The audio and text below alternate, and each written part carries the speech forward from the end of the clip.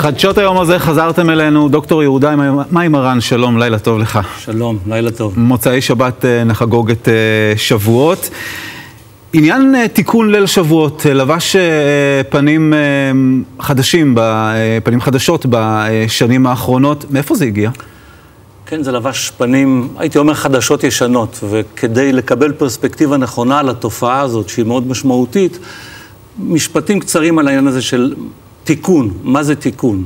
אז המילה הרגילה של תיקון היא באמת, אנחנו רוצים לתקן משהו שהוא פגום. Mm-hmm.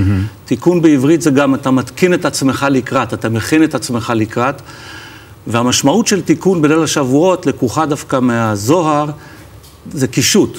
אתה מתקשט לקראת קבלת התורה. חז"ל המשילו את מתן התורה לחופה בין הקדוש ברוך הוא ובין עם ישראל. והתכשיט שאתה מתקשט בו, ואני תכף מגיע לתופעה הזאת, אתה חורז את התורה עם המשנה, עם הגמרא, עם הזוהר, כהכנה לקראת אה, חג השבועות, לקראת מתן התורה. מכאן גם המסורת תופ... של אה, יהדות מרוקו לקרוא את, ה, את הכתובה בערב הזה, נכון? בדיוק, מסורת ישנה. בדיוק, כן. הכתובה היא חלק מהדבר הזה, רבי ישראל נג'רה שכתב את הכתובה הזאת, שממשילה את מתן התורה. לחתונה בין הקדוש ברוך הוא ובין עם ישראל, יפה. וגם בין עם ישראל ובין התורה.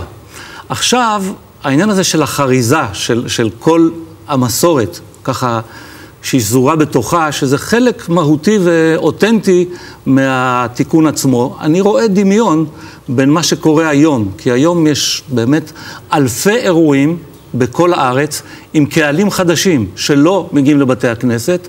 שעושים תיקון ליל שבועות, שונה ממה שהיה במסורת, אבל יש פה גם חריזה של התורה במפגש שלה עם סוגיות אקטואליות עכשוויות.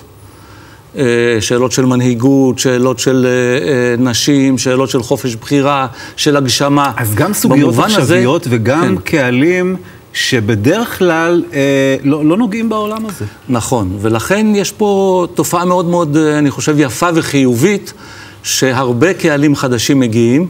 והייתי רוצה אולי לשלב בין שני הדברים. זאת אומרת, הסימפוזיונים האלה, בתי המדרש האלה, הלימוד, הוא מאוד חי, הוא מאוד דינמי, אנשים מגיעים כי זה מעניין אותם, הם ערניים מאוד.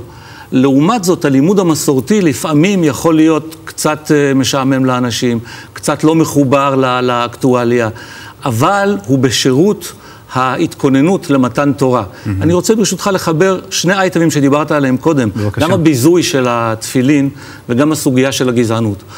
ליל הלימוד בשבועות, המטרה שלו היא תיקון, גם של המידות. אנחנו צריכים לצאת אחרת בלילה הזה. אז האם הלימוד הזה מוביל לכך ש... נבין את החשיבות למשל של התפילין, או נהיה רגישים יותר לחשיבות של התפילין ופחות נבזה? האם בעקבות הלימוד שלנו נהיה פחות גזעניים? זו נקודה מעניינת.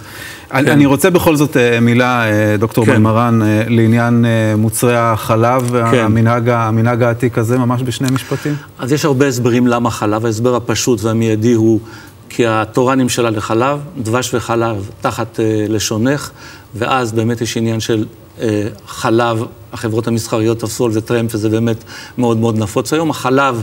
צבעו לבן, והוא מסמל את מידת ה... זה תיקון למאזנים של חברות החלב, כן. כן, הוא מסמל את מידת הרחמים. אגב, הביקורים הם חלק משמעותי מהחג, ועברנו מהביקורים אל החלב. יש גם uh, הסברים שאומרים שבעצם העם קיבל את התורה במעמד כן. הר סיני, צווה שם על ההפרדה בין בשר לחלב, עוד לא היה יכול לעשות את זה, ולכן אכל חלב. שיהיה חג שמח. דוקטור יהודה מימרן, תודה רבה לך שבאת אלינו, מנכ"ל כל ישראל חברים. תודה, תודה רבה. תודה רבה.